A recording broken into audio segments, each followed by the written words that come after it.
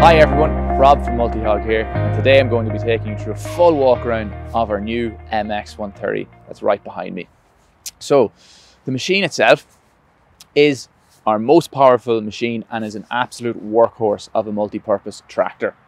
It's fully hydrostatic four-wheel drive, so you have a wheel motor on each wheel, um, making it very good for heavy duty winter maintenance um, but also it's ideal for non-winter applications like mowing, high pressure washing, or even chemical-free weed control. The machine has a class-leading GVW uh, of 7 ton, which is unbeatable, and it has a 130 horsepower Deutz engine. That's stage 5 diesel engine or tier 4 final for the US, stage 5 in Europe, and that is the latest in emission technology for this type of vehicle. Inside the cab, the noise and vibration levels are very, very low. It is a really comfortable place for the operator to be. And the cab also comes in two variants. Behind me, we have our MX, which is 1530 to 1700 millimeters or 60 to 67 inches. And then we have the MXC, which can be as narrow as 1.3 meters or 1300 millimeters to 1700 millimeters, 51 to 67 inches. And that range is all dependent on tire sizes. Um, some customers will go for the MXC where they want to get the machine narrow enough to fit on footpaths or sidewalks or even greenways and still have that advantage of the 7 ton GVW that the MX range has. It has a top speed of 40 kilometers an hour or 25 miles per hour and is fully EU type approved. So goes through all the safety standards required for EU type approval as a tractor. All right, let's take a look now at the very front of the machine. So up front we have our Multihog quick adapter hitch. It's very heavy duty with two ton or 4,000 pound lift capacity and it's designed for really heavy attachments on the front, such as a boom arm where you had to have a lot of leverage out to the side of the machine. This is designed to have capability for that without any issues. On the hitch, you've got lift and tilt control, and that's all from a mini joystick inside the cab, which is fully proportional, and you also have float on the hitch, so really good for mowing applications or even with plows and snow blowers as well. Okay, um, over on this side, then we have our load sensing PTO couplings. They go right up to 120 liters per minute or 32 GPM, and they have a peak pressure of 350 bar. That means you have loads of power for snow blowing and all fully hydraulic with quick release couplings over on this side. Then we have our double acting functions on this side. We can have up to four sets of double actings and they're controlled with our fingertip controls in the cab. All four of those functions can have float and they're all fully proportional so you have really precise control over the attachment. Now, taking a closer look at the cab, first thing to say is it is really spacious inside. You have loads of legroom and loads of headroom for any size of operator. And when you're in there, you have superb visibility. You can see full 360 degrees around and you can see the extremities of any attachment you might have or you'll be able to see pedestrians or ground crew walking around the machine. So it's very, very safe. We've excellent lighting packages on the machine. We've our standard headlights, fully road legal. Uh, we have options for LED work lights on the machine, which are really bright, and we can also put on extra LED flashers. On the roof, you'll see our standard beacon. We can add on an additional beacon as well. The cab is fully ROPS tested to our EU type approval. And to note on that, that means the machine can be fully road registrable um, for road use um, and you can drive the machine uh, without a CDL license in the US, which is very important. Looking at the mirrors, we've our standard heated mirrors and you can go for an electrical uh, controlled mirror as well, or electrically adjustable mirror. On the doors, we have options for sliding windows, which are great for those summer months for non-winter operation. And we even have option for heated windscreen for winter applications in those colder climates. access on the machine is brilliant. You have full access from the left and the right side of the machine, and it's really, really easy to step in and out of. Now onto the side of the machine, and first taking a close look at the articulation. Multihog spends a lot of engineering time on developing the articulation to make sure that it's strong enough to handle the abuse and the heavy duty attachments that will be on this machine. So you'll notice that by the thickness of plate used in the joint. It has 45 degrees articulation and the front and rear of the chassis can also oscillate plus minus 5 degrees, which makes it really stable for uneven or off-road terrain. On the new MX130, there's a big reduction of hydraulic hoses and cables running through the center of the machine and they're really tidily packed so we're mitigating any risk in chafing and wear on those hoses. Looking then at the cooler. So the new MX130 has dual coolers, one here and one on the other side. Um, and behind those coolers, you have hydraulically driven fans. And they are temperature controlled, so they're only running when they need to to keep the machine cool.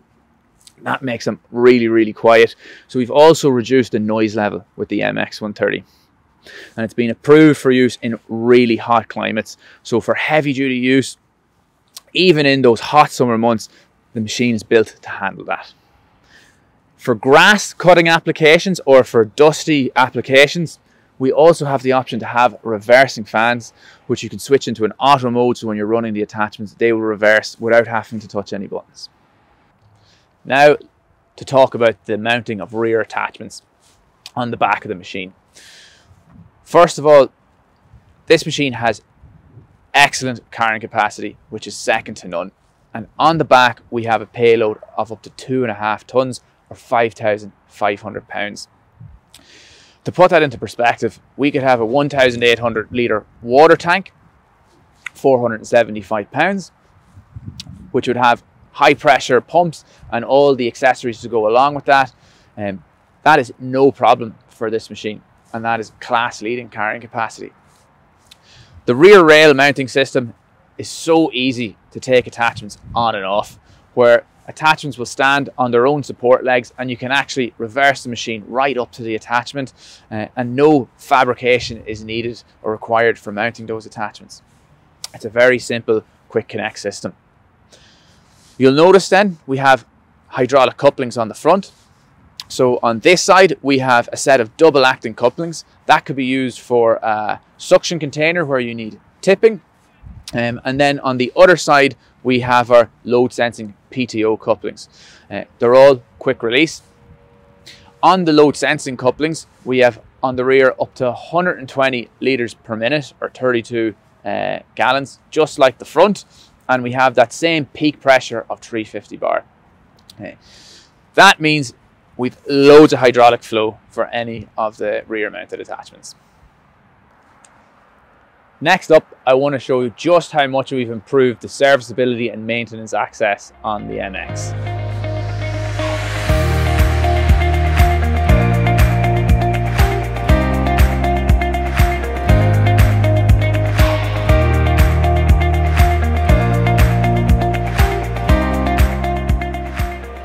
So as you can see, we now have far better access on our new MX 130.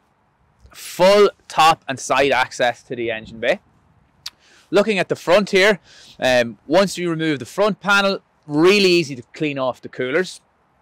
Direct access for filling up the AdBlue, which is part of the stage 5 tier 4 final emissions. And then easy access to all the main engine service components. Fuel filters, we can pull this panel out of the way without the use of any tools. So very straightforward to get access to your oil filter. Uh, and even without removing that panel, you have access to your dipstick. And you've got your fuel tank and everything on this side as well.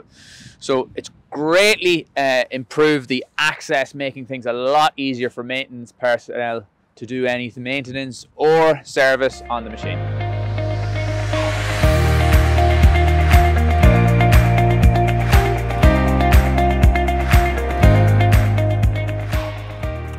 So Also to note, the 130 horsepower engine, the drive pump and the PTO pump are all housed in the rear chassis. That really helps to reduce the overall levels of noise and vibration inside the cab. And a very important point is that this machine has a 500 hour service interval.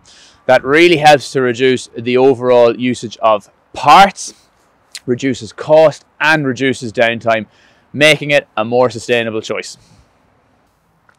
Now looking at the rear of the machine, first to point out a couple of new things about the MX130 at the back. Uh, first, you'll notice uh, these new rear rails. So you would use them for attaching a drop spreader, for example, and it's very simple. It would just bolt onto the rear rails and hang from the back chassis. Nice new feature to have on the machine.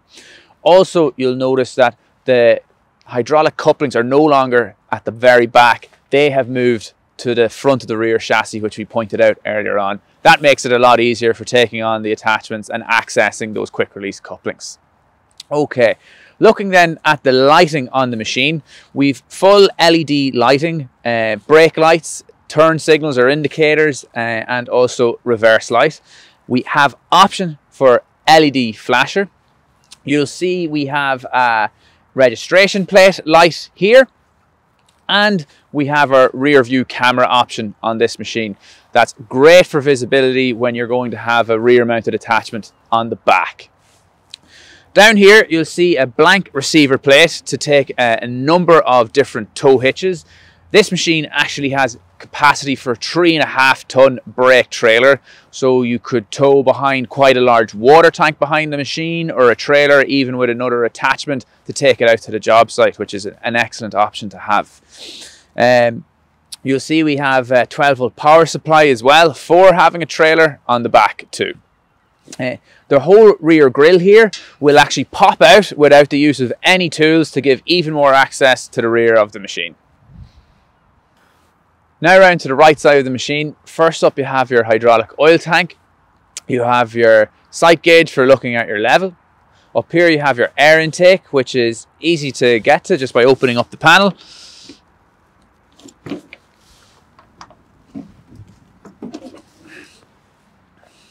Um, here you can take that off to clean out the filter and of course you're able to clean your radiator on the right hand side of the machine. Forward from that, you have two easily accessible jump points for the battery and the isolator switch for shutting off all the electronics on the machine. All right, we're inside the cab now, and the first thing you'll notice when you're sitting inside is just how spacious it is. You have really good leg room out front, you've got loads of headroom, and also the visibility is excellent. So you've got full 360 degree visibility um, around the whole cab. The seat is very comfortable. It's full air ride seat and you can adjust how much air is in the seat uh, with a simple toggle between your legs. Um, you've got forward and back adjustments on the seat and you can also adjust the angle of the seat behind you and you have two armrests on the seat also. You've got adjustability on the angle of the steering column which you can get really well set up and very comfortable inside the cab with all that adjustment. Um, and with all the padding and insulation, that's what makes this cab so quiet inside. Now up above your head, you'll notice your AC and heating unit. So that's a combination unit. There's great airflow in that for keeping the operator cold in those uh, summer months and then you can turn on the heat to really get the heat pumping inside the cab when you're operating in those harsh winter climates. Um, over here then on the right side you have your radio so your full uh, sound system over here. Uh, you have your rear view camera with a color display over uh, below that. And that display is always on. And um, so if you have a rear mounted attachment like a salt spreader on the back, you'll still be able to see what's behind you. The next unit here, that's specifically for a de-icing sprayer option, so that wouldn't always be in the cab. And then down you have your main dash right here, and that has all the information, fuel, engine RPM, speed, anything like that that the operator would need. Okay, taking a closer look at the display. Going from left to right, first thing you have here is your AdBlue level gauge. Then you have your fuel level and then your engine RPM. In the middle of the screen, you have information for the operator like your PTO flow, front and rear, and also your load assist percentage here. You have your travel time and also working hours display. Um, and then moving over to the right, you have your um, park brake indicator and your gauge for your travel speed. You've got a battery level indicator and engine temperature over here on the very right as well. A new feature we have in the MX is the customizable modes for different attachments. So you can go in to your general settings uh, and in here you'll see at the moment the machine is set up as more. We have a plow option. We also have a standard option that you can configure. Um, actually in total there's six different configurable modes that you can pre-program for different attachments. That means that if you switch from a plow to a mower deck you just have to switch the mode and straight away the machine already has the correct preset values for hydraulic flow. Um, your fingertip controls are all set up at the right level, so that makes it really, really easy to use. So also from the main display, we've now put in onboard diagnostics um, and this is the same across our whole range and is a huge improvement for reducing downtime. So Going into the menu, if you go to the diagnostics page, you'll see you've got four pages available for diagnostics. Our engine, drive pump, main controller input, so that's all the electrical inputs into the controllers on the machine. And then we've got our main controller and PDM output, so that's all the outputs going to all the hydraulic valves um, and all the other components as well. To give you an example, going to the outputs page, at the top, you'll see an image um, showing the main hydraulic valve block. This is a really nice feature. So I can get live information on the display. If I move my joystick, for example, you will see that the valve that should be active is highlighted. If I move the joystick the other way, you can see um, the same valve but in the other direction is now highlighted. So if there is an issue with anything, it's very easy to check um, which valve should be working. And also when I move that it'll actually show you on the display the current going to the solenoid in that valve. So you can see if it's getting the right amount of current. Um, if it wasn't uh, getting the right amount it could be a problem with the connection. If it is maybe it's a problem with the actual valve itself. But all that information makes it a lot quicker to debug and reduce the downtime of the machine. Okay, now taking a look at the control console. The first thing to mention is that the whole console is connected directly to the air seat. So it moves up and down with the seat. So your arm is staying steady.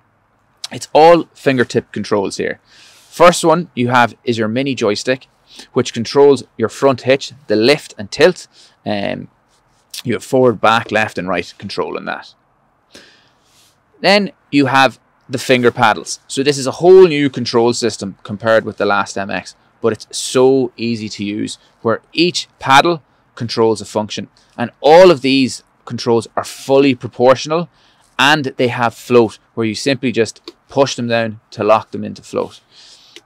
It makes even the larger, heavier attachments like a boom arm so simple to use where you can have really fine, precise control over the attachment. Going forward then, here you have your safety switches for your front and rear PTO, and you have your park brake control. Here you have adjustment for forward, neutral and reverse on your rocker switch.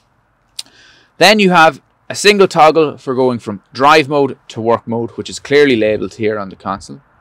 And if you have the cruise speed button, uh, that will be here if you have that option. When you're in work mode, you can control your engine RPM independent of your drive speed um, by adjusting the orange toggle. And when you're in drive mode, your engine RPM and your drive pump is controlled simultaneously um, by the ECU. And that is to optimize your fuel consumption. So you're only using as much engine power and engine RPM as needed to propel the vehicle. So that helps to reduce your overall fuel consumption, making the machine more sustainable. You then have a keypad here on the right side of the console. You have first and second speed. Speed 2 will allow you that 40 kilometers an hour travel speed. Um, but for working and operating attachments or off-road where you might need more torque, you can jump down into speed one. You can enable your load assist here. Um, you have high pressure carryover option there also, the next one down. Then you have control for your differential. So you would need that for that heavy duty winter maintenance. And on the MX, you actually have a two stage differential. Stage one to give you like a 50% lock, and then you have a full hydraulic lock when you engage stage two, giving you super traction on the machine. As I said earlier on, you have the option for a reversing fan where you can, can control that off the keypad, but it is also possible to set that up into an automatic mode. And then you have your heated windscreen um, and heated mirror. If you have the option for the heated windscreens, it's controlled off the same button there. You have your flashers and beacons and then control for your LED work lights. So all of that is on the control console. Um, the operator never has to reach for everything. You can always have your hand on the controls and have your hand on the steering wheel at the same time. Um, so it's very safe and user friendly. Um, talking about the drive, we've actually simplified the drive in the machine with a push to go drive system now on the new MX. And that is so easy to use, very intuitive, um, and also very responsive. So you have a single pedal, accelerator, and then you have a brake pedal in case of emergencies.